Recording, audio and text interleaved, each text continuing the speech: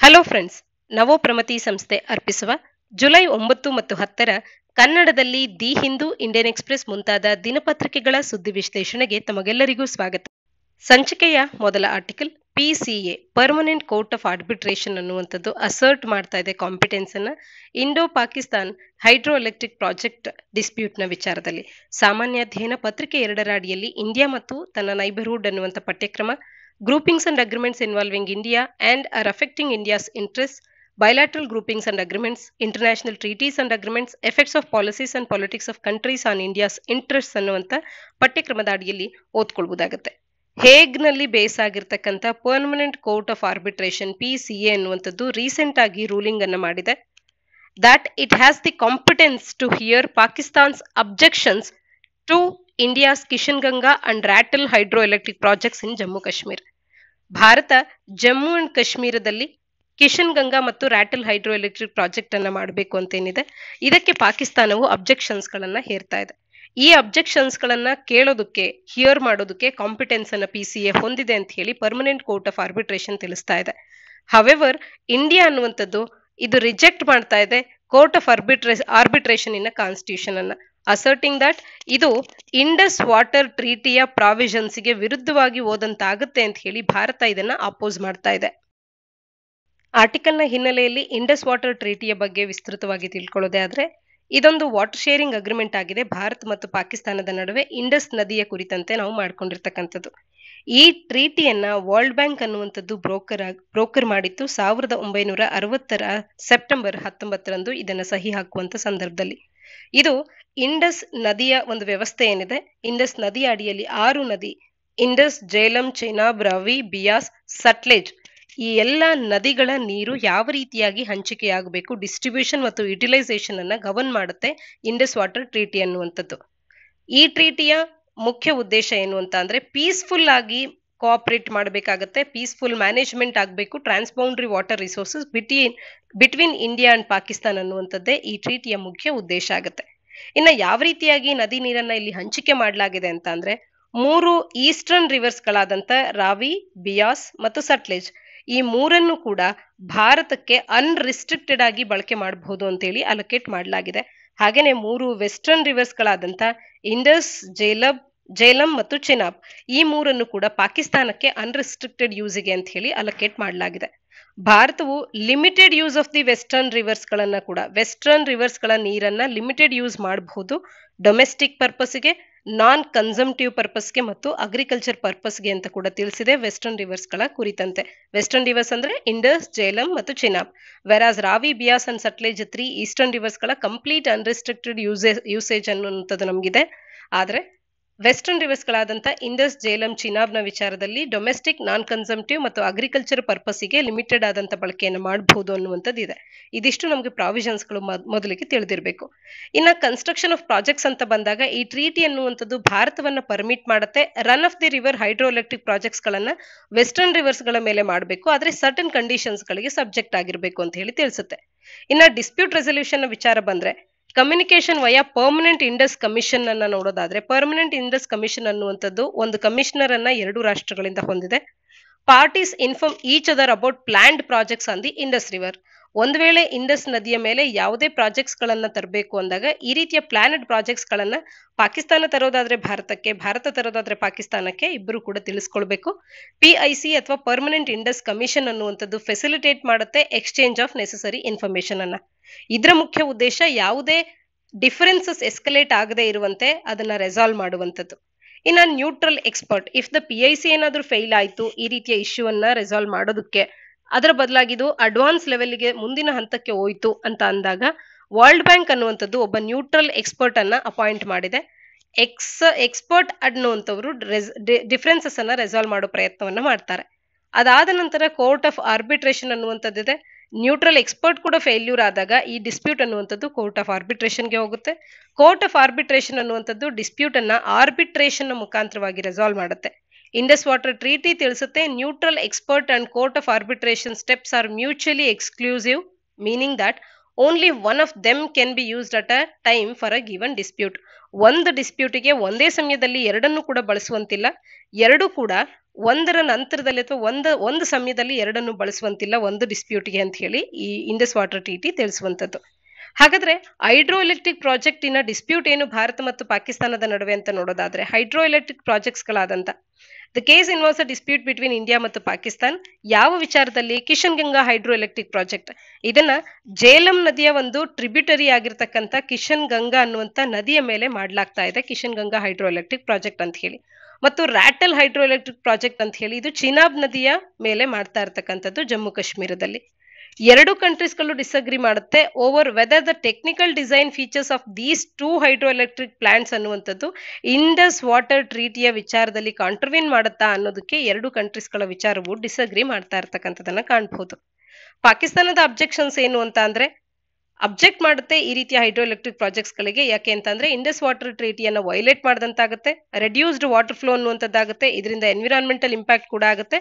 ಮತ್ತು ಈ ಟ್ರೀಟಿಯಲ್ಲಿ ಇರ್ತಕ್ಕಂಥ ಕೆಲವು ಪ್ರಾವಿಷನ್ಸ್ ಗಳನ್ನ ಇಂಟರ್ಪ್ರಿಟ್ ಮಾಡುವಂತದ್ದು ಡಿಫರ್ ಆಗ್ತಾ ಇದೆ ಎರಡು ರಾಷ್ಟ್ರಗಳ ನಡುವೆ. ಹಾಗಾಗಿ ಪಾಕಿಸ್ತಾನ ಎರಡ್ ಸಾವಿರದ ಹದಿನಾರರಲ್ಲಿ ಒಬ್ರು ನ್ಯೂಟ್ರಲ್ ಎಕ್ಸ್ಪರ್ಟ್ ಅನ್ನ ರಿಕ್ವೆಸ್ಟ್ ಮಾಡಿತ್ತು. ಆದರೆ ಆ ಎಕ್ಸ್ಪರ್ಟ್ ಅನ್ನ ನೇಮಕ ಮಾಡೋದಕ್ಕೆ ಮುಂಚೆಯೇ ಕೋರ್ಟ್ ಆಫ್ ಆರ್ಬಿಟ್ರೇಷನ್ ಅನ್ನುವಂಥದ್ರ ಮೊರೆ ಹೋಯಿತು. ಇನ್ಸ್ಟೆಡ್ ಆಗಿ ಎರಡನ್ನು ಕೂಡ ಪ್ರಪೋಸ್ ಮಾಡುತ್ತೆ ಪಾಕಿಸ್ತಾನ.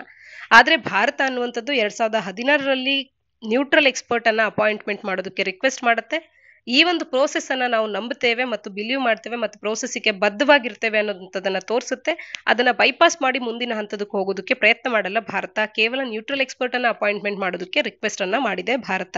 ಇನ್ನು ವಿಶ್ವಸಂಸ್ಥೆಯು ವಿಶ್ವ ಬ್ಯಾಂಕ್ ಅನ್ನುವಂಥದ್ದು ಇಲ್ಲಿ. ಪರ್ಮನೆಂಟ್ ಇಂಡಸ್ ವಾಟರ್ ಕಮಿಷನ್ ಏನಿದೆ? ಇದರ ಮುಖಾಂತರವಾಗಿ ಈ ಎರಡು ರಾಷ್ಟ್ರಗಳಿಂದ ಬಂದಿರತಕ್ಕಂಥ ಸಪರೇಟ್ ರಿಕ್ವೆಸ್ಟ್ ಗಳನ್ನ ನಾವು ಅಡ್ರೆಸ್ ಮಾಡೋದ್ರ ಬಗ್ಗೆ ವರ್ಲ್ಡ್ ಬ್ಯಾಂಕ್ ಅನ್ನುವಂಥದ್ದು ತಿಳಿಸುತ್ತೆ. ಪರ್ಮನೆಂಟ್ ಇಂಡಸ್ ಕಮಿಷನ್ ಅನ್ನುವಂಥದ್ರ ಒಂದು ಸಹಾಯದಿಂದ ಇದನ್ನ ಇಶ್ಯೂ ಅನ್ನ ರೆಸಾಲ್ವ್ ಮಾಡೋದ್ರ ಕಡೆಗೆ ಗಮನ ಹರಿಸುತ್ತೆ ವರ್ಲ್ಡ್ ಬ್ಯಾಂಕ್ ಅನ್ನುವಂಥದ್ದು. ಆದ್ರೆ ಪಾಕಿಸ್ತಾನ ಇದನ್ನ ರೆಫ್ಯೂಸ್ ಮಾಡ್ತಾ ಇದೆ. ಈ ಇಶ್ಯೂ ಅನ್ನ ಪಿ ಐ ಸಿ ಮೀಟಿಂಗ್ಸ್ಗಳಲ್ಲಿ ಡಿಸ್ಕಸ್ ಮಾಡೋದಕ್ಕೆ ಅದಕ್ಕೆ ಇಚ್ಛೆ ಇಲ್ಲ. ಅದರ ಅದರ ಬದಲಾಗಿ ವರ್ಲ್ಡ್ ಬ್ಯಾಂಕ್ ಅನ್ನುವಂಥದ್ದು ನ್ಯೂಟ್ರಲ್ ಎಕ್ಸ್ ಎಕ್ಸ್ಪರ್ಟ್ ಅನ್ನ ಮತ್ತು ಕೋರ್ಟ್ ಆಫ್ ಆರ್ಬಿಟ್ರೇಷನ್ ಮೇಲೆ ಆಕ್ಷನ್ಸ್ ಗಳನ್ನ ಇನಿಷಿಯೇಟ್ ಮಾಡಬೇಕು ಅನ್ನುವಂಥದ್ದು ಪಾಕಿಸ್ತಾನದ ಒಂದು ನಿಲುವು. ಈ ಟ್ರೀಟಿ ಅನ್ನುವಂಥದ್ದು ವರ್ಲ್ಡ್ ಬ್ಯಾಂಕ್ ಅನ್ನ ಎಂಪವರ್ ಮಾಡೋದಿಲ್ಲ whether one procedure should take precedence over the other ಅನ್ನುವಂಥದ್ದನ್ನ ನಿರ್ಧಾರ ಮಾಡೋದಕ್ಕೆ. ವರ್ಲ್ಡ್ ಬ್ಯಾಂಕ್ ಅನ್ನುವಂಥದ್ದು it sought to fulfil its procedural obligations with respect to both court of arbitration and neutral expert ಅನ್ನುವಂಥದ್ದು ಗೊತ್ತಿರಲಿ. ಇನ್ನ India oppose ಮಾಡುತ್ತೆ constitution of COA ಅನ್ನ citing Indus water ಟ್ರೀಟಿಯ ಪ್ರಾವಿಷನ್ಸ್ಗಳ ಕಾಂಟ್ರವೆನ್ಷನ್ ಆಗುತ್ತೆ ಇಲ್ಲಿ ಅನ್ನುವಂಥ ಒಂದು ಉದ್ದೇಶಕ್ಕೆ. ಇಂಡಿಯಾ ಕ್ವೆಶನ್ ಕೂಡ ಮಾಡುತ್ತೆ jurisdiction and competition competence of the COA ಅನ್ನ. Stating it was not properly constituted as per the treaty ಅಂತ ಹೇಳಿ ಹಾಗೇನೆ ಇಂಡಿಯಾ ತಿಳಿಸುತ್ತೆ India has not appointed arbitrators or attended the courts proceedings need for a single dispute resolution ಪ್ರೋಸೆಸ್ಸಿನ ಅವಶ್ಯಕತೆಯನ್ನು ಎತ್ತಿಡಿಯೋದಕ್ಕೆ ಭಾರತ ಈ ರೀತಿ ಮಾಡ್ತಾ ಇರ್ತಕ್ಕಂಥದ್ದು. ಇಲ್ಲಿ ಪರ್ಮನೆಂಟ್ ಕೋರ್ಟ್ ಆಫ್ ಆರ್ಬಿಟ್ರೇಷನ್ ಆಗಬಹುದು ಮತ್ತು ಪರ್ಮನೆಂಟ್ ಇಂಡಸ್ ಕಮಿಷನ್ ಆಗಬಹುದು ಮತ್ತು ಕೋರ್ಟ್ ಆಫ್ ಆರ್ಬಿಟ್ರೇಷನ್ ಎ ಆಗ್ಬಹುದು. ಇವೆಲ್ಲದ್ರ ಬಗ್ಗೆ ನಮಗೆ ಸ್ಪಷ್ಟತೆ ಇರಬೇಕು. ಪ್ರಿಲಿಮ್ಸ್ನಲ್ಲಿ ಒಂದು ವೇಳೆ ಇದಕ್ಕೆ ಸಂಬಂಧಪಟ್ಟಂತ ಪ್ರಶ್ನೆಗಳು ಬಂದು ಸ್ಟೇಟ್ಮೆಂಟ್ ರೂಪ್ನಲ್ಲಿ ಕ್ವಶನ್ಸ್ ಬಂದಾಗ ಸ್ಟೇಟ್ಮೆಂಟ್ಸ್ಗಳು ಬಂದಾಗ ನಮಗೆ ಕನ್ಫ್ಯೂಸ್ ಆಗುವಂತ ಸಾಧ್ಯತೆ ಇರುತ್ತೆ. ಈಗ ಒಟ್ಟಾರೆ ಪಿ ಸಿ ಎ ರೂಲಿಂಗ್ನ ಬಗ್ಗೆ ತಿಳ್ಕೊಳ್ಳೋದಾದ್ರೆ ಪರ್ಮನೆಂಟ್ ಕೋರ್ಟ್ ಆಫ್ ಆರ್ಬಿಟ್ರೇಷನ್ ಇಲ್ಲಿ ರೂಲ್ ಮಾಡಿದೆ. Court of arbitration has the competence to consider Pakistan's objections to India's hydroelectric project in Jammu and Kashmir ಅಂತ ಹೇಳಿ ತಿಳಿಸುತ್ತೆ. ಈ ರೂಲಿಂಗ್ ಅನ್ನುವಂಥದ್ದು ಒಂದು ಯುನಾನಿಮಸ್ ಡಿಸಿಷನ್ ಆಗಿದ್ದು ಎರಡು ಪಾರ್ಟೀಸ್ಗಳ ಮೇಲೆ ಬೈಂಡಿಂಗ್ ಆಗಿರುತ್ತೆ. ಯಾವುದೇ ಪಾಸಿಬಿಲಿಟಿ ಆಫ್ ಅಪೀಲ್ ಅನ್ನುವಂಥದ್ದು ಇಲ್ಲಿಲ್ಲ ಪಿ ಸಿ ಎ ಇಂಡಿಯಾದ ಅಬ್ಜೆಕ್ಷನ್ ಏನಿತ್ತು? ಕಾಂಪಿಟೆನ್ಸ್ ಆಫ್ ದಿ ಸಿಒ ಎನ ವಿಚಾರದಲ್ಲಿ ಅದನ್ನು ರಿಜೆಕ್ಟ್ ಕೂಡ ಮಾಡಿದೆ. It was raised through its communications with the world bank ಇನ್ನು ಇಂಡಿಯಾದ ರೆಸ್ಪಾನ್ಸ್ ಏನು ಅಂತ ಅಂದ್ರೆ India has been maintaining that it will not join the Pakistan initiated proceedings at the P C A ಅಂತ ಹೇಳಿ ತಿಳಿಸುತ್ತೆ. ಆಸ್ ದ ಡಿಸ್ಪ್ಯೂಟ್ ಅನ್ನುವಂಥದ್ದು already examine ಆಗಿದೆ ನ್ಯೂಟ್ರಲ್ ಎಕ್ಸ್ಪರ್ಟ್ನ ಕಡೆಯಿಂದ W I I W T Indus water ಟ್ರೀಟಿಯ ಒಂದು ಫ್ರೇಮ್ವರ್ಕ್ನ ಅಡಿಯಲ್ಲಿ ಅನ್ನುವಂಥದ್ದು ಭಾರತದ ಒಂದು ನಿಲುವಾಗಿದೆ.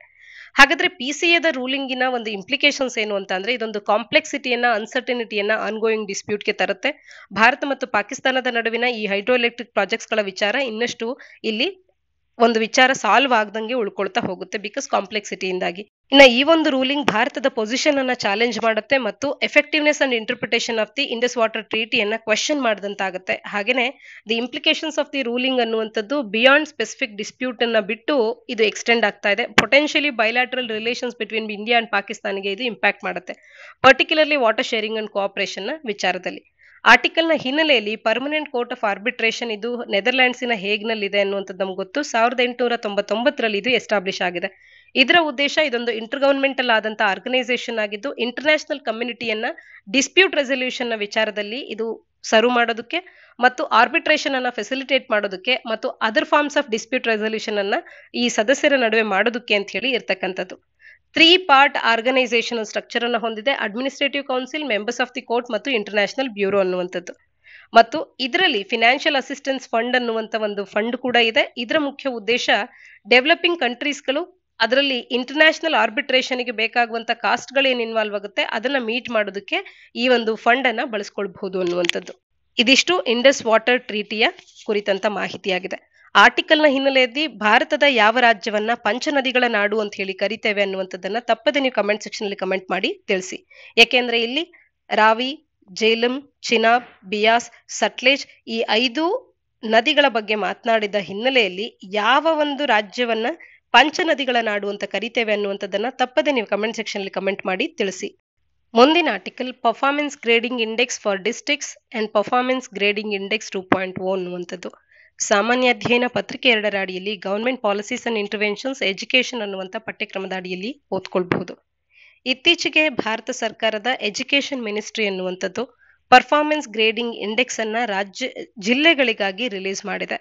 ಇದೊಂದು ಕಂಬೈನ್ಡ್ ರಿಪೋರ್ಟ್ ಆಗುತ್ತೆ ಎರಡ್ ಸಾವಿರದ ಇಪ್ಪತ್ತು, ಇಪ್ಪತ್ತೊಂದರ ಸಾಲು ಮತ್ತು ಇಪ್ಪತ್ತೊಂದು, ಇಪ್ಪತ್ತೆರಡರ ಎರಡೂ ಸಾಲುಗಳಿಗೆ ಅಂತ ಹೇಳಿ. ಭಾರತದಲ್ಲಿ ಶಾಲಾ ಶಿಕ್ಷಣ ವ್ಯವಸ್ಥೆ ಅನ್ನುವಂಥದ್ದು ಜಿಲ್ಲಾ ಹಂತದಲ್ಲಿ ಹೇಗಿದೆ ಅನ್ನುವಂಥದ್ದನ್ನ ತಿಳ್ಕೊಳ್ಳೋದಕ್ಕೆ ಈ ಒಂದು ರಿಪೋರ್ಟ್ ಅನ್ನುವಂಥದ್ದು ಇಂಡೆಕ್ಸ್ ಅನ್ನುವಂಥದ್ದು ಕಾರ್ಯ ಮಾಡುತ್ತೆ. ಮಿನಿಸ್ಟ್ರಿ ಆಫ್ ಎಜುಕೇಶನ್ ಅನ್ನುವಂಥದ್ದು performance grading index two point O ಅನ್ನುವಂಥ ಒಂದು ರಿಪೋರ್ಟ್ ಅನ್ನ ಕೂಡ ತಂದಿದೆ. ರಾಜ್ಯ ಅಥವಾ ಕೇಂದ್ರಾಡಳಿತ ಪ್ರದೇಶಗಳಿಗೆ ಎರಡ್ ಸಾವಿರದ ಇಪ್ಪತ್ತೊಂದು, ಇಪ್ಪತ್ತೆರಡರ ಸಾಲಿಗೆ. ಇದೆರಡರ ಬಗ್ಗೆ ನಾವು ಚರ್ಚೆ ಮಾಡೋದಾದ್ರೆ performance grading index for districts ಅಂತ ಅಂದ್ರೆ ಇದು performance of the school education system at the district level ಹೇಗಿರುತ್ತೆ ಅನ್ನುವಂಥದ್ದನ್ನ ಒಂದು ಇಂಡೆಕ್ಸ್ ಅನ್ನ ಕಾಂಪ್ರಹೆನ್ಸಿವ್ ಅನಾಲಿಸಿಸ್ಗಾಗಿ ಕ್ರಿಯೇಟ್ ಮಾಡೋ ಮುಖಾಂತರವಾಗಿ ಅಸೆಸ್ಮೆಂಟ್ ಅನ್ನು ಮಾಡುತ್ತೆ. ಇನ್ನ ಪಿ ಜಿ ಐ ಡಿ ಅನ್ನುವಂಥದ್ದು ಡಿಸ್ಟ್ರಿಕ್ಟ್ ಲೆವೆಲ್ ಪರ್ಫಾರ್ಮೆನ್ಸ್ ಅನ್ನುವಂಥದ್ದು ಸ್ಕೂಲ್ ಎಜುಕೇಶನ್ ಅಲ್ಲಿ based on the data collected from various sources ಉದಾಹರಣೆಗೆ unified district information system for education plus ಅಂತ ಹೇಳಿ ಉಡೈಸ್ ಪ್ಲಸ್ ಅಂತ ಹೇಳಿ ಮತ್ತು ನ್ಯಾಷನಲ್ ಅಚೀವ್ಮೆಂಟ್ ಸರ್ವೆ ಎರಡ್ ಸಾವಿರದ ಹದಿನೇಳು ಆಗಬಹುದು ಮತ್ತು ರೆಸ್ಪೆಕ್ಟಿವ್ ಡಿಸ್ಟ್ರಿಕ್ಟ್ಸ್ ಗಳಿಂದ ಬಂದಿರತಕ್ಕಂಥ data since twenty seventeen eighteen ministry of education ಅನ್ನುವಂಥದ್ದು ಫೈವ್ ಆನ್ಯುಯಲ್ ರಿಪೋರ್ಟ್ಸ್ ಗಳನ್ನ ರಿಲೀಸ್ ಮಾಡಿದೆ. ಇದು ಒಂದು ಇನ್ಸೈಟ್ಸ್ ಅನ್ನ ನೀಡುತ್ತೆ. ಶಾಲಾ ಶಿಕ್ಷಣ ವ್ಯವಸ್ಥೆ ಅನ್ನುವಂಥದ್ದು ಭಾರತದ ರಾಜ್ಯಗಳಲ್ಲಿ ಮತ್ತು ಕೇಂದ್ರಾಡಳಿತಗಳಲ್ಲಿ, ಕೇಂದ್ರಾಡಳಿತ ಪ್ರದೇಶಗಳಲ್ಲಿ ಯಾವ ರೀತಿ ಇದೆ ಅನ್ನುವಂಥದ್ದನ್ನ.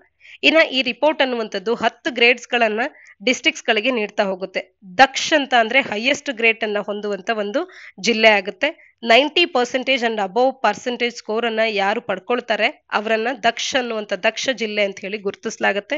ನಂತರ ಉತ್ಕರ್ಷ್ ಅಂತ ಹೇಳಿ eighty one percent to ninety percent Ati Uttam Uttam Prachesta one Prachesta two Prachesta three Akanshi one, Akanshi two, Akanshi three ಅಂತ ಹೇಳಿ ಆಕಾಂಕ್ಷಿ ತ್ರೀ ಎನ್ನುವಂಥದ್ದು ಲೋಯೆಸ್ಟ್ ಲೆವೆಲ್ ಆಗಿದ್ದು ಟೆನ್ ಪರ್ಸೆಂಟ್ಗಿಂತ ಕಡಿಮೆ ಸ್ಕೋರ್ ಅನ್ನು ಪಡ್ಕೊಂಡಿರ್ತಕ್ಕಂಥ ರಾಜ್ಯಗಳು ಇಲ್ಲಿ ಇರುತ್ತೆ ಅನ್ನುವಂಥದ್ದು ಗೊತ್ತಿರಲಿ. ಇಲ್ಲಿ ರಾಜ್ಯ ಅಲ್ಲ, ಜಿಲ್ಲೆಗಳು ಇದರಲ್ಲಿ ಇರುತ್ತೆ ಈ ಒಂದು ಪರ್ಫಾರ್ಮೆನ್ಸ್ ಗ್ರೇಡಿಂಗ್ ಇಂಡೆಕ್ಸ್ ಡಿಸ್ಟ್ರಿಕ್ಟ್ಸ್ ಲೆವೆಲ್ನಲ್ಲಿ ಇನ್ನು ಇಂಡಿಕೇಟರ್ಸ್ ಅಂತ ಬಂದಾಗ ಇಲ್ಲಿ ಸಿಕ್ಸ್ ಹಂಡ್ರೆಡ್ ಪಾಯಿಂಟ್ಸ್ ಗಳನ್ನ ಅಕ್ರಾಸ್ ಏಯ್ಟಿ ತ್ರೀ ಇಂಡಿಕೇಟರ್ಸ್ ಗಳನ್ನ ಒಂದು ವೆಯ್ಟ್ ಆವರೇಜ್ ವೆಯ್ಟ್ ಏಜ್ ಅನ್ನುವಂಥ ವೆಯ್ಟೇಜನ್ನು ಇಲ್ಲಿ ತಗೊಳ್ಳಾಗತ್ತೆ ಟೋಟಲ್ ವೆಯ್ಟೇಜನ್ನು ಇದರಲ್ಲಿ ಆರು ಕ್ಯಾಟಗರೀಸ್ ಗಳಾಗಿ ಮುಖ್ಯವಾಗಿ ನಾವು ಕಾಣಬಹುದು ಈ ಏಯ್ಟಿ ತ್ರೀ ಇಂಡಿಕೇಟರ್ಸ್ ಗಳನ್ನ ಕ್ಲಾಸ್ ರೂಮ್ ಟ್ರಾನ್ಸಾಕ್ಷನ್ ಎಫೆಕ್ಟಿವ್ ಆಗುವಂಥದ್ದು ಮತ್ತು ಔಟ್ಕಮ್ಸ್ ಆಗಬಹುದು ಇನ್ಫ್ರಾಸ್ಟ್ರಕ್ಚರ್ ಫೆಸಿಲಿಟೀಸ್ ಮತ್ತು students entitlements school safety and child protection digital learning ಮತ್ತು ಗವರ್ನೆನ್ಸ್ ಪ್ರೋಸೆಸ್ ಇದರ ಮಹತ್ವ ಏನು ಅಂತ ಅಂದ್ರೆ, ಶಾಲಾ ಶಿಕ್ಷಣ ವ್ಯವಸ್ಥೆಯಲ್ಲಿ ಹೇಗಿದೆ ಅನ್ನುವಂಥದ್ದು. ಸ್ಟೇಟ್ ಎಜುಕೇಶನ್ ಡಿಪಾರ್ಟ್ಮೆಂಟ್ಸ್ ಗಳಿಗೆ ಅಸಿಸ್ಟ್ ಮಾಡುತ್ತೆ.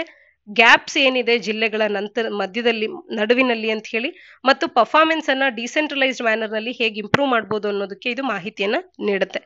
ಹಾಗೆ ಇದರ ಹೈಲೈಟ್ಸ್ ಅನ್ನ ನೋಡೋದಾದ್ರೆ ಪ್ಯಾಂಡಮಿಕ್ ಯಾವ ರೀತಿಯಾಗಿ ಜಿಲ್ಲೆಗಳ ಮೇಲೆ, ಜಿಲ್ಲೆಗಳ ಪರ್ಫಾರ್ಮೆನ್ಸ್ನ ಮೇಲೆ ಇಂಪ್ಯಾಕ್ಟ್ ಮಾಡಿದೆ ಅಂತ ಹೇಳಿ ನೋಡೋದಾದ್ರೆ ಟೂ, ಟಾಪ್ ಟೂ ಗ್ರೇಡ್ಸ್ಗಳಾದಂಥ ಗಳಾದಂತ ಉತ್ಕರ್ಷ್ನಲ್ಲಿ ಯಾವುದೇ ಒಂದು ಜಿಲ್ಲೆ ಇಲ್ಲದೆ ಇರತಕ್ಕಂಥದ್ದು ಪ್ಯಾಂಡಮಿಕ್ ಅನ್ನುವಂಥದ್ದು ನೆಗೆಟಿವ್ ಆಗಿ ಯಾವ ರೀತಿ ಇಂಪ್ಯಾಕ್ಟ್ ಮಾಡಿದೆ ಅನ್ನುವಂಥದ್ದನ್ನ ತೋರಿಸುತ್ತೆ ಎಜುಕೇಶನ್ ವಿಚಾರದಲ್ಲಿ. ಇನ್ನು ಶೇಕಡ ಎಪ್ಪತ್ತೊಂದರಿಂದ ಶೇಕಡ ಎಂಬತ್ತರಷ್ಟು ಅಂಕಗಳನ್ನು ಅಥವಾ ಸ್ಕೋರ್ ಪಡ್ಕೊಂಡಂಥ ಸಂಸ್ಥೆಗಳಿಗೆ ಅತಿ ಉತ್ತಮ ಅಂತ ಹೇಳಿ ಏನ್ ಜಿಲ್ಲೆಗಳನ್ನು ಗುರುತಿಸ್ತಾ ಇದ್ರು. ಅತಿ ಉತ್ತಮ್ನಲ್ಲಿ ಇರ್ತಕ್ಕಂಥ ಶಾಲೆಗಳ ಸಂಖ್ಯೆ ಡಿಸ್ಟಿಕ್ಗಳ ಸಂಖ್ಯೆಯೂ ಕೂಡ ಸಿಗ್ನಿಫಿಕೆಂಟ್ ಆಗಿ ಡಿಕ್ರೀಸ್ ಆಗಿದೆ. ಎರಡ್ ಸಾವಿರದ ಇಪ್ಪತ್ತು, ಇಪ್ಪತ್ತೊಂದರಲ್ಲಿ ನೂರ ಇಪ್ಪತ್ತೊಂದು ಇದ್ದಂಥದ್ದು, ಎರಡ್ ಸಾವಿರದ ಇಪ್ಪತ್ತೊಂದು, ಇಪ್ಪತ್ತೆರಡರಲ್ಲಿ ಕೇವಲ ಐವತ್ತೊಂದು ಜಿಲ್ಲೆಗಳು ಮಾತ್ರ ಇರ್ತಕ್ಕಂಥದ್ದು. ಇದು ಕೂಡ ಪ್ಯಾಂಡಮಿಕ್ಕಿನ ಇಂಪ್ಯಾಕ್ಟ್ ಅನ್ನುವಂಥದ್ದು ಶಾಲಾ ಶಿಕ್ಷಣದ ವ್ಯವಸ್ಥೆಯ ಮೇಲೆ ಯಾವ ರೀತಿ ಆಗಿದೆ ಅನ್ನುವಂಥದ್ದನ್ನು ತೋರಿಸುತ್ತೆ. ಹಾಗೆ ಗ್ರೇಡ್ಸ್ಗಳಲ್ಲಿ ಕೂಡ ಬದಲಾವಣೆಗಳಾಗಿದೆ. Number of districts categorised as Prachesta two ಅಂದ್ರೆ ಸಿಕ್ಸ್ತ್ ಹೈಯೆಸ್ಟ್ ಗ್ರೇಡ್ ಆಗಿ ಕ್ಯಾಟಗರೈಸ್ ಆಗಿರ್ತಕ್ಕಂಥದ್ದು. ಏಯ್ಟಿ ಸಿಕ್ಸ್ ಇಂದ ಒನ್ ಒನ್ ಸೆವೆನ್ಗೆ ಇನ್ಕ್ರೀಸ್ ಆಗಿದೆ ಟ್ವೆಂಟಿ ಒನ್ ಟ್ವೆಂಟಿ ಟೂ ಅಲ್ಲಿ.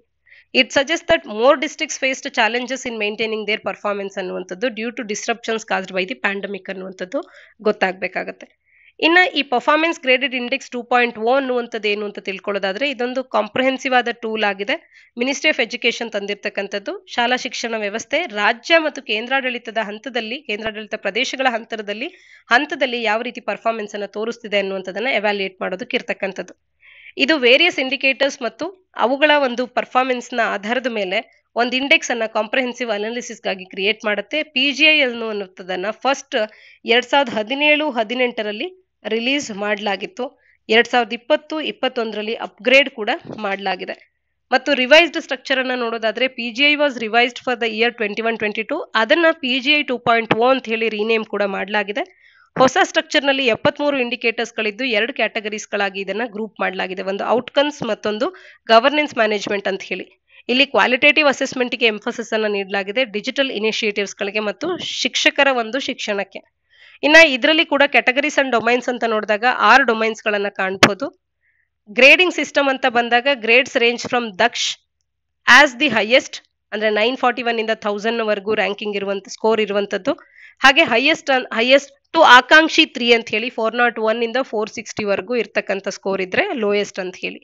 ಇದೆಲ್ಲವನ್ನ ನಾವು P performance grading index for district ಮತ್ತು P G I two point O ಅಡಿಯಲ್ಲಿ ತಿಳ್ಕೊಳ್ಬಹುದು. ಶಾಲಾ ಶಿಕ್ಷಣ ವ್ಯವಸ್ಥೆಯಲ್ಲಿ ಬೆಟರ್ ಆದಂತ ಒಂದು ಬೆಟರ್ಮೆಂಟ್ ತರೋದಕ್ಕೆ ಅಂತ ಹೇಳಿ ಏನೆಲ್ಲ ತಂದ್ ತರಲಾಗಿದೆ ಸರ್ಕಾರದ ಕಡೆಯಿಂದ ಯೋಜನೆಗಳನ್ನ ಅಂದ್ರೆ ಹೊಸ ರಾಷ್ಟ್ರೀಯ ಶಿಕ್ಷಣ ನೀತಿಯನ್ನ ತರಲಾಗಿದೆ. ಎರಡ್ ಸಾವಿರದ ಇಪ್ಪತ್ತರಲ್ಲಿ ಎನ್ ಇ ಪಿ ಅನ್ನುವಂಥದ್ದು ಬಂದಿದೆ. Samagra Shiksha mid day meal scheme Eklavya model school and Rajiv Gandhi national fellowship scheme national programme and technology enhanced learning Sarva Shiksha Abhiyan Pragyata mid day meal scheme Beti Bachao, Beti Padhao P M Shri schools ಹೀಗೆ ಹಲವಾರು ಯೋಜನೆಗಳನ್ನ ಶಾಲಾ ಶಿಕ್ಷಣ ವ್ಯವಸ್ಥೆಯಲ್ಲಿ ಒಂದು ಒಳ್ಳೆಯ ಶಿಕ್ಷಣವನ್ನ ನೀಡೋದಕ್ಕೆ ಅಂತ ಹೇಳಿ ತಂದಿರ್ತಕ್ಕಂಥದ್ದು. ಮುಂದಿನ article impact on microplastics on gut microbiomes ಅನ್ನುವಂಥದ್ದು. ಸಾಮಾನ್ಯ ಅಧ್ಯಯನ ಪತ್ರಿಕೆ ಎರಡು ಮತ್ತು ಮೂರರ ಅಡಿಯಲ್ಲಿ ಎನ್ವಿರಾನ್ಮೆಂಟಲ್ ಪೊಲ್ಯೂಷನ್ ಅಂಡ್ ಡಿಗ್ರಿಡೇಷನ್ ಅನ್ನುವಂಥ ಪಠ್ಯಕ್ರಮದ ಅಡಿಯಲ್ಲಿ ಹಾಗೆ ಗೌರ್ಮೆಂಟ್ ಪಾಲಿಸೀಸ್ ಅಂಡ್ ಇಂಟರ್ವೆನ್ಷನ್ಸ್ ಅನ್ನುವಂಥ ಪಠ್ಯಕ್ರಮದ ಅಡಿಯಲ್ಲಿ ಓದ್ಕೊಳ್ಬಹುದಾಗುತ್ತೆ ಇತ್ತೀಚೆಗೆ ಫುಡ್ ಅಂಡ್ ಅಗ್ರಿಕಲ್ಚರಲ್ ಆರ್ಗನೈಸೇಷನ್ ಅನ್ನುವಂಥದ್ದು ತನ್ನ ರಿಪೋರ್ಟ್ನಲ್ಲಿ ರಿಪೋರ್ಟ್ನ ಹೆಸರು impact of microplastics and nanoplastics on human health ಅಂತ ಹೇಳಿ ಈ ಒಂದು ರಿಪೋರ್ಟ್ನಲ್ಲಿ ಹೈಲೈಟ್ ಮಾಡ್ತಾ ಇದೆ. ಮೈಕ್ರೋ ಪ್ಲಾಸ್ಟಿಕ್ಸ್ ಮತ್ತು ನ್ಯಾನೋ ಪ್ಲಾಸ್ಟಿಕ್ಸ್ ಅನ್ನುವಂಥದ್ದು ಕನ್ಸ್ಟ್ರಬಲ್ ಆಗಿ ಇಂಪ್ಯಾಕ್ಟ್ ಮಾಡ್ತಿದೆ ಮಾನವರಿಗೆ ಮತ್ತು ಹ್ಯೂಮನ್ಸ್ಗೆ ಅಂತ ಹೇಳಿ. ಅವರ ಗಟ್ ಮೈಕ್ರೋ ಬಯೋಕ್ಸ್ ಬಯೋಮ್ಸ್ಗೆ ಆಸ್ ವೆಲ್ ಆಸ್ ದಿ ಎನ್ವಿರಾನ್ಮೆಂಟ್ಗೆ ಹಾಗಾದ್ರೆ ಏನಿದು ಗಟ್ ಮೈಕ್ರೋ ಬಯೋಮ್ಸ್ ಅನ್ನುವಂಥದ್ದನ್ನ ತಿಳ್ಕೊಳ್ಳೋದಾದ್ರೆ ಇದೊಂದು ಟೋಟಾಲಿಟಿ ಆಫ್ ಮೈಕ್ರೋ ಆರ್ಗ್ಯಾನಿಸಮ್ಸ್ ಆಗಿರುತ್ತೆ. Microorganisms bacteria viruses protozoa fungi ಮತ್ತು ಅವುಗಳ ಕಲೆಕ್ಟಿವ್ ಜೆನೆಟಿಕ್ ಮೆಟೀರಿಯಲ್ ಅನ್ನುವಂಥದ್ದು ಗ್ಯಾಸ್ಟ್ರೋ ಇಂಟೆಸ್ಟೈನಲ್ ಟ್ರ್ಯಾಕ್ಟ್ನಲ್ಲಿ ಏನು ಪ್ರೆಸೆಂಟ್ ಇರುತ್ತೆ. ಅದನ್ನ ಗಟ್ ಮೈಕ್ರೋಬಯಮ್ಸ್ ಅಂತ ಹೇಳಿ ಕರಿಬಹುದು. Totality of microorganisms bacteria viruses protozoa fungi ಮತ್ತು ಅವುಗಳ ಕಲೆಕ್ಟಿವ್ ಜೆನೆಟಿಕ್ ಮೆಟೀರಿಯಲ್ ಅನ್ನುವಂಥದ್ದು ಗ್ಯಾಟ್ರೋ ಇನ್ ಗ್ಯಾಸ್ಟ್ರೋ ಇಂಟೆಸ್ಟೈನಲ್ ಟ್ರ್ಯಾಕ್ಟ್ನಲ್ಲಿ ಏನು ಪ್ರೆಸೆಂಟ್ ಇರುತ್ತೆ. ಅದನ್ನ ಗಟ್ ಮೈಕ್ರೋಬಯೋಮ್ ಅಂತ ಹೇಳಿ ಕರೀಬಹುದು. ಗಟ್ ಮೈಕ್ರೋಬಯೋಮ್ ಅನ್ನುವಂಥದ್ದು ಬಹಳ ಇಂಪಾರ್ಟೆಂಟ್ ಆದಂಥ ಒಂದು ರೋಲ್ ಅನ್ನ ಪ್ಲೇ ಮಾಡುತ್ತೆ. ನ್ಯೂಟ್ರಿಯೆಂಟ್ ಅಂಡ್ ಮಿನರಲ್ ಅಬ್ಸಾರ್ಪ್ಷನ್ ಅಲ್ಲಿ ಮತ್ತು ಎನ್ಸೈಮ್ಸ್ ಗಳನ್ನ ಸಿಂಥಸೈಸ್ ಮಾಡೋದ್ರಲ್ಲಿ ವಿಟಮಿನ್ಸ್ ಅಂಡ್ ಅಮೈನೋ ಆಸಿಡ್ಸ್ ಗಳನ್ನ ಸಿಂಥಸಿಸ್ ಮಾಡೋದ್ರಲ್ಲಿ ಮತ್ತು ಶಾರ್ಟ್ ಚೈನ್ ಫ್ಯಾಟಿ ಆಸಿಡ್ಸ್ ಗಳನ್ನ ಪ್ರೊಡ್ಯೂಸ್ ಮಾಡೋದ್ರಲ್ಲಿ. ಮೈಕ್ರೋಬಯೋಮ್ ಅನ್ನುವಂಥದ್ದು collection of genomes from all the micro organisms in the ಎನ್ವಿರಾನ್ಮೆಂಟ್ಗೆ refer ಮಾಡುತ್ತೆ. ವೈಲ್ ಮೈಕ್ರೋಬಯೋಟಾ ಅನ್ನುವಂಥದ್ದು usually micro organisms that are found with in a specific environment ಅದನ್ನ refer ಮಾಡುತ್ತೆ. Microbiome and microbiota ಎರಡಕ್ಕೂ ಕೂಡ ವ್ಯತ್ಯಾಸಗಳು ನಮಗೆ ತಿಳಿದಿರಬೇಕಾಗತ್ತೆ. ಈಗ ನ್ಯಾನೋಪ್ಲಾಸ್ಟಿಕ್ ಅಂಡ್ ಮೈಕ್ರೋಪ್ಲಾಸ್ಟಿಕ್ಸ್ ಅನ್ನುವಂಥದ್ದು ಹ್ಯೂಮನ್ ಹೆಲ್ತ್ನ ಮೇಲೆ ಇಂಪ್ಯಾಕ್ಟ್ ಮಾಡ್ತಿದೆ ಮತ್ತು ಗಟ್ ಮೈಕ್ರೋಬಯಮ್ಸ್ಗಳಿಗೆ ಅಫೆಕ್ಟ್ ಮಾಡ್ತಿದೆ ಅನಿಮಲ್ಸ್ಗೆ ಅನ್ನುವಂಥದ್ದನ್ನ ಇದು ತಿಳಿಸ್ತಾ ಇದೆ ಈ ಒಂದು ಅಧ್ಯಯನ. ಇಂಟೆಸ್ಟೈನಲ್ ಇನ್ಫ್ಲಮೇಷನ್ ಮತ್ತು ಡಿಸ್ಬಯೋಸಿಸ್ ಅನ್ನುವಂಥದ್ದನ್ನ ಇಲ್ಲಿ ಕಾಣಬಹುದಾಗುತ್ತೆ ಹೆಚ್ಚಿನ ಪ್ಲಾಸ್ಟಿಕ್ಗೆ ಎಕ್ಸ್ಪೋಜರ್ ಆಗೋದ್ರಿಂದ ಇಂಟೆಸ್ಟೈನಲ್ ಇನ್ಫ್ಲಮೇಷನ್ ಮತ್ತು ಗಟ್ ಡಿಸ್ಬಯೋಸಿಸ್ ಅನ್ನುವಂಥದ್ದು ಆಗ್ತಾ ಇದೆ. ಗಟ್ ಮೈಕ್ರೋಬಯೋಮ್ನಲ್ಲಿ ಚೇಂಜಸ್ ಅನ್ನುವಂಥದ್ದು ಆಗ್ತಾ ಇದೆ. ಮೈಕ್ರೋಬಯಾಟದಲ್ಲಿ ಬದಲಾವಣೆಗಳಾಗ್ತಾ ಇದೆ. Microplastics act as stressors and cause inflammatory responses in the host. Certain micro ಆರ್ಗ್ಯಾನಿಸಮ್ಸ್ಗೆ ಅಫೆಕ್ಟ್ ಮಾಡುತ್ತೆ ಮತ್ತು ಮೈಕ್ರೋಬೈಲ್ ಡಿಸ್ಬೋ, ಡಿಸ್ಬಯೋಸಿಸ್ ಅನ್ನುವಂಥದ್ದು ಉಂಟಾಗುತ್ತೆ. ಇನ್ನ ಹ್ಯೂಮನ್ ಬಾಡಿಯಲ್ಲಿ ಡೆಪೋಸಿಷನ್ ಅನ್ನುವಂಥದ್ದು ಉಂಟಾಗ್ತಾ ಇದೆ. ಮೈಕ್ರೋಪ್ಲಾಸ್ಟಿಕ್ಸ್ ಅನ್ನುವಂಥದ್ದು water bottles food ಐಟಮ್ಸ್ಗಳಾದಂಥ sugar honey sea salt tea ಇವೆಲ್ಲದರಲ್ಲಿ ಇವತ್ತು ಕಾಣಸಿಗ್ತಾ ಇದೆ. ಅದರ್ಸ್ ಹ್ಯಾವ್ ಇವೆಂಚುಯಲಿ ಇವೆಲ್ಲದರಲ್ಲಿ ಕಾಣ್ತಾ ಇರೋದ್ರಿಂದಾಗಿ ಹ್ಯೂಮನ್ ಲಂಗ್ ಟಿಶ್ಯೂನಲ್ಲಿ ಡೆಪಾಸಿಟ್ ಆಗ್ತಿದೆ. ಪ್ಲಾಸೆಂಟಾ ಸ್ಟೂಲ್ ಬ್ಲಡ್ ಮೈ ಮೆಕೋನಿಯಂ ಇವೆಲ್ಲದರಲ್ಲಿ ಡೆಪಾಸಿಟ್ ಆಗ್ತಾ ಇದೆ. Plastic interaction with the environment ಅಂತ ನೋಡಿದಾಗ plastics of hydrophobic nature can absorb hydrophobic chemicals ಅಥವಾ ಪರ್ಸಿಸ್ಟೆಂಟ್ ಆರ್ಗ್ಯಾನಿಕ್ ಗಳನ್ನ ಕೂಡ ಎನ್ವಿರಾನ್ಮೆಂಟ್ ಇಂದ ಇವು ಅಬ್ಸರ್ವ್ ಮಾಡಿಕೊಳ್ಳಬಲ್ಲವು. ಇನ್ನು ಯಾವುದೇ ಆರ್ಗ್ಯಾನಿಸಮ್ನ ಮೇಲೆ ಯಾವ ರೀತಿಯಾಗಿ ಇಂಪ್ಯಾಕ್ಟ್ ಆಗುತ್ತೆ ಮೆಟಬಾಲಿಸಮ್ ಹೇಗಿರುತ್ತೆ ಅಂದ್ರೆ ಮೈಕ್ರೋಪ್ಲಾಸ್ಟಿಕ್ ಅನ್ನುವಂಥದ್ದು ಗಟ್ಟಲ್ಲಿ ಅಕ್ಯುಮುಲೇಟ್ ಆಗೋದ್ರಿಂದಾಗಿ ಮ್ಯೂಕಸ್ ಲೇಯರ್ನಲ್ಲಿ ಬದಲಾವಣೆಗಳನ್ನು ಉಂಟು ಮಾಡಿ gut permeability alterations of the mucosal structure ಮತ್ತು oxidative stress and immune response ಅನ್ನುವಂಥದ್ದು ಇಲ್ಲ ಆಗುತ್ತೆ. ಒಟ್ಟಾರೆ ಈ ಒಂದು ಫೈಂಡಿಂಗ್ಸಿನ ಸಿಗ್ನಿಫಿಕೆನ್ಸ್ ಏನು ಅಂತ ಅಂದ್ರೆ F A food and agricultural organisation ಇನ ರಿಪೋರ್ಟ್ ಅನ್ನುವಂಥದ್ದು ಎಂಫಸೈಸ್ ಮಾಡುತ್ತೆ. Significant impact of microplastics and nanoplastics on gut ಮಯೋ microbiomes ಮತ್ತು ಹ್ಯೂಮನ್ ಹೆಲ್ತ್ನ ಮೇಲೆ ಇದೆ ಅನ್ನುವಂಥದ್ದನ್ನ. ಗಟ್ ಮೈಕ್ರೋಬಯೋಮ್ನ ಮೇಲೆ ಮತ್ತು ಎನ್ವಿರಾನ್ಮೆಂಟ್ನ ಮೇಲೆ ಪ್ಲಾಸ್ಟಿಕ್ ಎಕ್ಸ್ಪೋಜರ್ ಅನ್ನುವಂಥದ್ದು ಎಷ್ಟರ ಮಟ್ಟಿಗೆ ಇಂಪ್ಯಾಕ್ಟ್ ಮಾಡ್ತಿದೆ ಅನ್ನೋದನ್ನ ತಿಳ್ಕೊಳ್ಳೋದ್ರಿಂದ, ಅರ್ಥ ಮಾಡ್ಕೊಳ್ಳೋದ್ರಿಂದಾಗಿ ಒಂದು ಎಫೆಕ್ಟಿವ್ ಆದಂಥ ಮಿಟಿಗೇಷನ್ ಸ್ಟ್ರಾಟಜೀಸ್ಗಳನ್ನು ಡೆವಲಪ್ ಮಾಡೋದಕ್ಕೆ ಇದು ಬಹುಮುಖ್ಯ ಆಗುವಂಥದ್ದು. ಮೈಕ್ರೋಪ್ಲಾಸ್ಟಿಕ್ಸ್ ಅಂದ್ರೆ ಯಾವ ಪ್ಲಾಸ್ಟಿಕ್ಸ್ಗಳು ಫೈವ್ ಮಿಲಿಮೀಟರ್ ಗಿಂತಲೂ ಕೂಡ ತನ್ನ ಡಯಾಮೀಟರ್ನಲ್ಲಿ ಕಡಿಮೆ ಇರುವಂತ ಸೈಜ್ನಲ್ಲಿ ಇರುತ್ತೆ. ಸ್ಮಾಲರ್ ಇನ್ ಡಯಾಮೀಟರ್ ಇರುತ್ತೆ. ಸ್ಟ್ಯಾಂಡರ್ಡ್ ಪರ್ಲ್ ಅನ್ನ ಏನ್ ಜ್ಯುವೆಲ್ರಿಯಲ್ಲಿ ಯೂಸ್ ಮಾಡ್ತಾರೆ ಅದಕ್ಕಿಂತಲೂ ಕೂಡ ಕಡಿಮೆ ಇರುತ್ತೆ. ಅದನ್ನ ನಾವು ಪ್ಲಾಸ್ಟಿಕ್ಸ್ ಮೈಕ್ರೋ ಪ್ಲಾಸ್ಟಿಕ್ಸ್ ಅಂತ ಹೇಳಿ ಕರಿಬಹುದಾಗತ್ತೆ. ಇದು ಹಾರ್ಮ್ಫುಲ್ ಆಗುತ್ತೆ ನಮ್ಮ ಓಷನ್ಗೂ ಮತ್ತು ಅಕ್ವಾಟಿಕ್ ಲೈಫ್ಗೂ ಅನ್ನುವಂಥದ್ದು ಗೊತ್ತಿರಲಿ. ಸೋಲಾರ್ ಯು ವಿ ರೇಡಿಯೇಷನಿನ ಇನ್ಫ್ಲೂಯೆನ್ಸ್ ನಾಡಿಯಲ್ಲಿ ವಿಂಡ್ ಕರೆಂಟ್ಸ್ ಮತ್ತು other natural factors plastic fragments ಅನ್ನುವಂಥದ್ದು ಸ್ಮಾಲ್ ಪಾರ್ಟಿಕಲ್ಸ್ಗಳಾಗಿ ಆಗ್ತವೆ. ಹಾಗಾಗಿ ಇವನ್ನ ಮೈಕ್ರೋ ಪ್ಲಾಸ್ಟಿಕ್ಸ್ ಅಂತ ಹೇಳಿ ಕರೆಯುವಂಥದ್ದು particles which are smaller than the five millimetre technically ಇದನ್ನ ಮೈಕ್ರೋ ಪ್ಲಾಸ್ಟಿಕ್ಸ್ ಅಂತೇವೆ. ಅಥವಾ ನ್ಯಾನೋ ಪಾರ್ಟಿಕಲ್ಸ್ ಅಂತ ಅಂದ್ರೆ which are smaller than the hundred nano ಮೀಟರ್ಗಿಂತಲೂ ಕಡಿಮೆ ಇರುವಂತದನ್ನ ನಾವು ಸ್ಮಾಲ್ ಮೈ ನ್ಯಾನೋ ಪಾರ್ಟಿಕಲ್ಸ್ ಅಂತ ಹೇಳಿ ಕರಿತೇವೆ. ಮೈಕ್ರೋ ಪ್ಲಾಸ್ಟಿಕ್ಸ್ ಗಳನ್ನ ಪ್ರೈಮರಿ ಅಂಡ್ ಸೆಕೆಂಡರಿ ಅಂತ ಹೇಳಿ ಎರಡು ರೀತಿ ಕ್ಲಾಸಿಫೈ ಕೂಡ ಮಾಡಬಹುದು ಇದಿಷ್ಟು ನಮಗೆ ಮೈಕ್ರೋ ಪ್ಲಾಸ್ಟಿಕ್ಸ್ನ ಬಗ್ಗೆ ಮತ್ತು ಎಫ್ ಎಒ ತಂದಿರ್ತಕ್ಕಂಥ ಈ ಒಂದು ರಿಪೋರ್ಟ್ನ ಬಗ್ಗೆ, ಹಾಗೇನೆ ಗಟ್ ಮೈಕ್ರೋ ಬಯೋಮ್ಸ್ನ ಬಗ್ಗೆ ಮೈಕ್ರೋ ಬಯೋಮ್ ಅಂದ್ರೆ ಏನು ಅನ್ನುವಂಥದ್ದು ಮತ್ತು ಮೈಕ್ರೋ ಬಯೋಟಾ ಅಂದ್ರೆ ಎನ್ನುವಂಥದ್ದು ಇವೆಲ್ಲವೂ ಕೂಡ ಗೊತ್ತಿರಲಿ. ಮುಂದಿನ article annulment of N M P A ಕುರಿತಂತೆ ಚರ್ಚೆ ಮಾಡೋಣ. ಸಾಮಾನ್ಯ ಅಧ್ಯಯನ ಪತ್ರಿಕೆ ಎರಡರ ಅಡಿಯಲ್ಲಿ representation of people act constitutional bodies ಅನ್ನುವಂಥ ಪಠ್ಯಕ್ರಮದ ಅಡಿಯಲ್ಲಿ ಪೊಲಿಟಿ ಅಡಿಯಲ್ಲಿ ಓದ್ಕೊಳ್ಬಹುದಾಗತ್ತೆ. ಮದ್ರಾಸ್ ಹೈಕೋರ್ಟ್ ಅನ್ನುವಂಥದ್ದು election of M P from Theni parliamentary ಕಾನ್ಸ್ಟಿಟ್ಯೂಯನ್ಸಿಯಲ್ಲಿ ಎರಡ್ ಸಾವಿರದ ಹತ್ತೊಂಬತ್ತರಲ್ಲಿ ಏನು ಎಲೆಕ್ಷನ್ ನಡೆದಿತ್ತು? ಇದನ್ನ ಈಗ ನಲ್ ಅಂಡ್ ವಾಯ್ಡ್ ಅಂತ ಹೇಳಿ ಡಿಕ್ಲೇರ್ ಮಾಡಿದೆ Madras high court. The court however kept the order in abeyance for a month to enable appeal against the order ಈ ಆರ್ಡರ್ನ ಅಗೇನ್ಸ್ಟ್ ಆಗಿ ಅಪೀಲ್ ಅನ್ನ ಎನೇಬಲ್ ಮಾಡೋದಕ್ಕೆ ಅಂತ ಹೇಳಿ ಇನ್ನು ಒಂದು ತಿಂಗಳವರೆಗೆ ಕೋರ್ಟ್ ಅನ್ನುವಂಥದ್ದು ಈ ಆರ್ಡರ್ ಅನ್ನ ಅಬಯನ್ಸ್ನಲ್ಲಿ ಇಟ್ಟಿರ್ತಕ್ಕಂಥದ್ದು. ಬ್ಯಾಕ್ಗ್ರೌಂಡ್ ಅನ್ನ ನೋಡೋದಾದ್ರೆ ಪಿಟಿಷನರ್ ಅಲೀಜ್ ಮಾಡ್ತಿದ್ದಾರೆ that he fail to disclose his true assets and liabilities in form twenty six of his election affidavit ಅಂತ ಹೇಳಿ. ಇದನ್ನ rule four A of conduct of election rules nineteen sixty one ಅನ್ನುವಂಥದ್ದು ತಿಳಿಸುತ್ತೆ. ಇವರು ಇಲ್ಲಿ ತಮ್ಮ ಎಲೆಕ್ಷನ್ ಅಫಿಡವಿಟ್ನಲ್ಲಿ ಅದನ್ನ ಡಿಸ್ಕ್ಲೋಸ್ ಮಾಡಬೇಕು ತಮ್ಮ ಟ್ರೂ ಅಸೆಟ್ಸ್ ಅಂಡ್ ಲಯಬಿಲಿಟೀಸ್ ಅಂತ ಹೇಳಿ. ಅಡಿಷನಲಿ ಇದು ಆಲ್ಸೋ ಕ್ಲೈಮ್ ಮಾಡುತ್ತೆ he resorted to corrupt practices including distribution of cash in exchange for votes ಹಾಗೆಯೇ ಇದು ರೆಪ್ರೆಸೆಂಟೇಷನ್ ಆಫ್ ಪೀಪಲ್ ಆಕ್ಟಿನ ಸೆಕ್ಷನ್ ಒನ್ ಟ್ವೆಂಟಿ ತ್ರೀಯನ್ನು ವೈಲೇಟ್ ಕೂಡ ಮಾಡಿದಂತಾಗುತ್ತೆ. ಹಾಗಾದ್ರೆ ಕೋರ್ಟಿನ ಅಬ್ಸರ್ವೇಷನ್ ಏನು ಅಂತ ಅಂದ್ರೆ ಈ ಕೋರ್ಟಿನ ಮದ್ರಾಸ್ ಹೈಕೋರ್ಟ್ ಅನ್ನುವಂಥದ್ದು ತಿಳಿಸುತ್ತೆ. Returning officer responsible for scrutinising the nomination he did not adhere to section 36 of 36 of the representation of people act and the instruction outlined in the handbook ಅಂತ ಹೇಳಿ ರಿಟರ್ನಿಂಗ್ ಆಫೀಸರ್ನ ಮೇಲೆ ಕೂಡ ಇಲ್ಲಿ ಕೋರ್ಟ್ ಅನ್ನುವಂಥದ್ದು ಆಕ್ಷನ್ಸ್ಗಳನ್ನು ತಗೊಳ್ತಾ ಇದೆ. ಹಾಗಾದ್ರೆ ಆರ್ಟಿಕಲ್ನ ಹಿನ್ನೆಲೆಯಲ್ಲಿ ಎಲೆಕ್ಷನ್ನ ಕಂಡಕ್ಟ್ ರೂಲ್ಸ್ ಅನ್ನುವಂಥದ್ದನ್ನ ಸಾವಿರದ ಒಂಬೈನೂರ ಅರವತ್ತೊಂದರಲ್ಲಿ ನಾವು ಕಂಡಕ್ಟ್ ಆಫ್ ಎಲೆಕ್ಷನ್ ರೂಲ್ಸ್ ಅನ್ನ ಕಾಣಬಹುದು ಇದರ ಬಗ್ಗೆ ಚರ್ಚೆ ಮಾಡೋದಾದ್ರೆ ಇದೊಂದು ಸೆಟ್ ಆಫ್ ರೂಲ್ಸ್ ಆಗಿದ್ದು ಇದನ್ನ representation of people act nineteen fifty ಒನ್ನ ಅಡಿಯಲ್ಲಿ ಎಸ್ಟಾಬ್ಲಿಷ್ ಮಾಡಲಾಗಿರ್ತಕ್ಕಂಥದ್ದು. ಈ ರೂಲ್ಸ್ಗಳು ಗವರ್ನ್ ಮಾಡುತ್ತೆ ಕಂಡಕ್ಟ್ ಆಫ್ ಎಲೆಕ್ಷನ್ಸ್ ಭಾರತದಲ್ಲಿ ಹೇಗಿರಬೇಕು ಅಂತ ಮತ್ತು ಗೈಡ್ಲೈನ್ಸ್ ಗಳನ್ನ ನೀಡುತ್ತೆ ಮತ್ತು ಏನೆಲ್ಲ ಪ್ರೊಸೀಜರ್ಸ್ ಗಳನ್ನ ಕ್ಯಾಂಡಿಡೇಟ್ಸ್ಗಳು ಫಾಲೋ ಮಾಡಬೇಕು ಪೊಲಿಟಿಕಲ್ ಪಾರ್ಟೀಸ್ಗಳು ಫಾಲೋ ಮಾಡಬೇಕು ಮತ್ತು ಎಲೆಕ್ಷನ್ ಅಫಿಷಿಯಲ್ಸ್ ಅಂಡ್ ವೋಟರ್ಸ್ಗಳು ಫಾಲೋ ಮಾಡಬೇಕು ಅನ್ನುವಂಥದ್ದನ್ನ ತಿಳಿಸುತ್ತೆ. ಇದು various aspects of electoral process ಅನ್ನ ಕೂಡ ಈ ರೂಲ್ಸ್ ಅನ್ನುವಂಥದ್ದು ಕವರ್ ಮಾಡುತ್ತೆ. ಉದಾಹರಣೆಗೆ ನಾಮಿನೇಷನ್ ಪೇಪರ್ಸ್ ಗಳನ್ನ ಫೈಲ್ ಮಾಡೋದಾಗ್ಬೋದು ನಾಮಿನೇಷನ್ಸ್ ಗಳನ್ನ ಸ್ಕ್ರೂಟಿನಿ ಮಾಡೋದಾಗ್ಬೋದು ಎಲೆಕ್ಷನ್ ಕ್ಯಾಂಪೇನ್ ರೆಗ್ಯುಲೇಷನ್ಸ್ ಆಗ್ಬೋದು ಪೋಲಿಂಗ್ ಪ್ರೊಸೀಜರ್ಸ್ ಆಗ್ಬೋದು ವೋಟ್ ಕೌಂಟ್ ಮಾಡೋದಾಗ್ಬೋದು ಎಲೆಕ್ಷನ್ ಡಿಸ್ಪ್ಯೂಟ್ ರೆಸೊಲ್ಯೂಷನ್ ಆಗ್ಬೋದು, ಇವೆಲ್ಲವನ್ನ ಇದರಲ್ಲಿ ಕಾಣಬಹುದು ಇನ್ನ ರೂಲ್ ಫೋರ್ ಎ ಏನ್ ತಿಳಿಸುತ್ತೆ ಅಂತ ನೋಡೋದಾದ್ರೆ ಕ್ಯಾಂಡಿಡೇಟ್ಸ್ಗಳು ತಮ್ಮ ನಾಮಿನೇಷನ್ ಪೇಪರ್ ಅನ್ನ ರಿಟರ್ನಿಂಗ್ ಆಫೀಸರ್ಗೆ ಸಬ್ಮಿಟ್ ಮಾಡುವಂತ ಸಂದರ್ಭದಲ್ಲಿ, ಒಂದು ಅಫಿಡವಿಟ್ ಅನ್ನ ಕೂಡ ಅವರು ನೀಡಬೇಕು. ಆ ಅಫಿಡವಿಟ್ ಅನ್ನುವಂಥದ್ದು ಒಂದು ಲೀಗಲ್ ಸ್ಟೇಟ್ಮೆಂಟ್ ಆಗಿರುತ್ತೆ. ಕ್ಯಾಂಡಿಡೇಟ್ನ ಅಸೆಟ್ಸ್ ಅಂಡ್ ಲಯಬಿಲಿಟೀಸ್ಗಳ ಕುರಿತಂತೆ ಮಾಹಿತಿಯನ್ನ ಒಳಗೊಂಡಿರುತ್ತೆ. ಈ ಅಫಿಡವಿಟ್ ಅನ್ನ ಅವ್ರು ನೀಡಿಲ್ಲ ಅನ್ನುವಂಥದ್ದೇ ಇಲ್ಲಿರ್ತಕ್ಕಂಥ ಒಂದು ಸಮಸ್ಯೆ. ಇದನ್ನ ಸರಿಯಾಗಿ ಆರ್ ಒ ಚೆಕ್ ಮಾಡಿಲ್ಲದೆ ಅವರು ತಮ್ಮ ಕರ್ತವ್ಯವನ್ನ ಸರಿಯಾದ ರೀತಿಯಲ್ಲಿ ನಿಭಾಯಿಸಿಲ್ಲ ಅನ್ನುವಂಥದ್ದನ್ನ ಕೂಡ ಇಲ್ಲಿ ಕೋರ್ಟ್ ಗಮನಿಸ್ತಾ ಇರ್ತಕ್ಕಂಥದ್ದು. ಇದಿಷ್ಟು ನಮಗೆ ತಿಳಿದಿರಬೇಕಾಗುತ್ತೆ. ಕರಪ್ಟ್ ಪ್ರಾಕ್ಟೀಸಸ್ ಅಂದ್ರೆ ಏನು? Representation of people act nineteen fifty one ಅಡಿಯಲ್ಲಿ ಅಂತ ಹೇಳಿ ನೋಡೋದಾದ್ರೆ section one twenty three of nineteen fifty one in R P A act ಏನ್ ತಿಳಿಸುತ್ತೆ? ಡಿಫೈನ್ ಮಾಡುತ್ತೆ ಕರಪ್ಟ್ ಪ್ರಾಕ್ಟೀಸಸ್ ಅನ್ನ.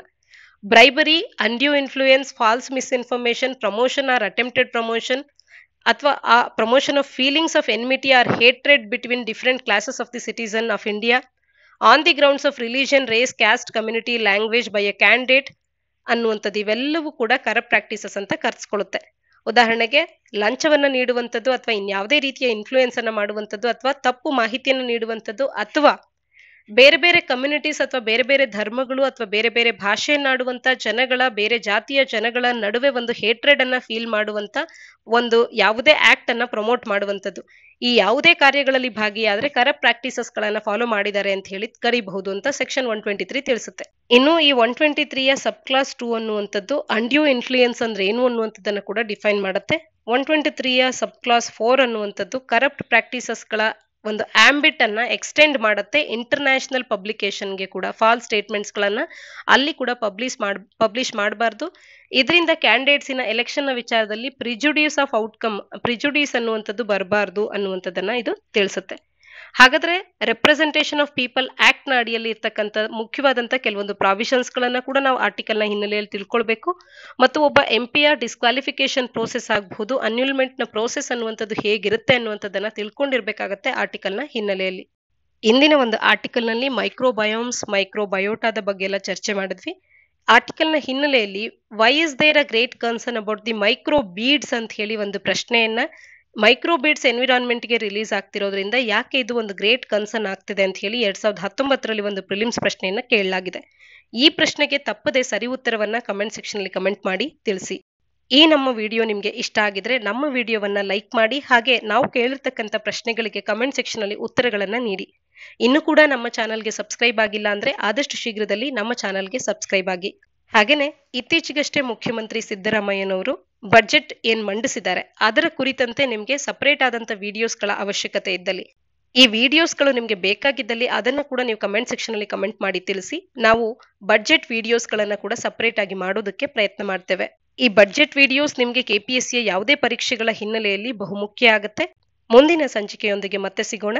ಧನ್ಯವಾದ.